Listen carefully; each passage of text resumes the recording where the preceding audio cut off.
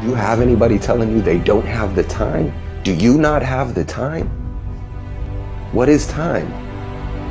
Is it just about focus and what's important to you and levels of importance and what you're willing to dedicate yourself to? I believe so.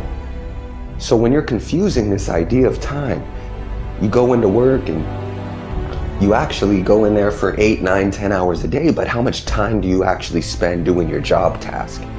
Take away all of your breaks, bathroom breaks, lunch breaks. Are you actually using your time properly after work? Are you just sitting at home? Are you kicking your feet up and watching soccer game, a football game for three and a half fucking hours? Is that a good utilization of your time? Are you spending your time? Why do we call it spending time? Why do we call it spending time? You fucking tell me. It's because when we're born, we get a little wallet and we stack it up. And it's already laid out there the amount of time we have to spend. You spending it in pennies? Are you frugal with your time? Are you just leisure?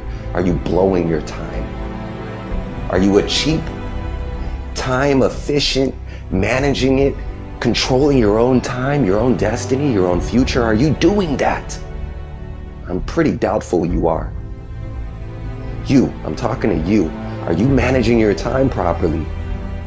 How much time do you have left to live before you die? And what if you were to die tomorrow? Would you say that you lived your life to the fullest of fucking potential? I'm highly doubtful. Would you say that you contributed enough to other people?